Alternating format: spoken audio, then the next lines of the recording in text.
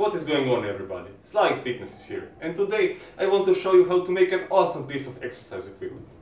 It's called a suspension trainer and you will see me using it a lot in my other videos. Now, as you can see, my design is a little bit different from the others. No straps, only high quality Slavic made carabiners and rope. And good handles. Now, you really want to make sure that you use high quality components because the last thing you want to is to fall down and injure yourself. Then you aren't gonna be making any gains. And a disclaimer guys, I can't be responsible for any injuries that may be result of you exercising on your own suspension trainer. You're making this, not me. But okay, enough of this yada yada yada. Let's get to business. Trainer. Things you will need. Two 8 foot pieces of 10 mm rope, this is the main rope. Two 3 foot pieces of 6 mm rope, this is where your handles will attach to. Two carabiners and handles of some kind. Now, just to show you that you can use practically anything. This is a handle I made out of food plastic wrapping foil, but of course it's better to use a proper PVC or even better, an exercise handle from the store. So, without anything else to say, let's get started. The first thing we will do is attach the main rope to the carabiner. We will do this using the bowline knot. You make the bowline knot like this. Take the rope, make a loop like this. Pass the rope through the carabiner. Go down through the loop, under the main rope, and then again back through the loop. And you pull it as tight as you can. Here it is, a perfect bowline knot. Okay, now we are going to make our handle. We do this by passing the 6mm rope through our handle of choice, like this.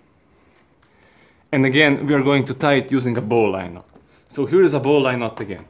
Make a loop like this, pass the secondary rope down through the loop, under the main rope, and again back through the loop. And pull as tight as you can. Here it is. This one slide and put the knot inside the handle for convenience. There you have it. This is your handle. And the last thing we are going to do is to attach this beat up handle to our main rope. You do this using a prusik knot. And you tie a prusik knot like this. You twist the secondary rope around the main rope like this and pass the handle under that loop. This is the first time. Again, go another time and pass the handle through that loop. This is the second twist. You want to make sure that every second twist, these rings, they are going from outside in. And for a third time. So here we go. You can see three turns, they go from outside in. One, two, three. First twist, second twist, third twist we now just have to pull it tightly and we have a plastic knot, a friction knot that will hold our weight when we do our chin-ups, rows, pull-ups, whatever you want. And you can see if I pull it tightly, it won't slide. I mean, you can pull this way, it doesn't go anywhere. You can pull, pull this way, it doesn't go anywhere. But if you want to adjust, just loosen it up a bit and it slides right away. You see? You see? This is awesome, guys. Just pull it tightly, it doesn't go anywhere. Okay, you now just have to repeat all of this for the other side. And congratulations, you built yourself a suspension trainer. Now, there are hundreds of places where you can hang your suspension trainer. Take a good look at your surroundings. I personally see this natural gas pipe over here, but it should be strong enough.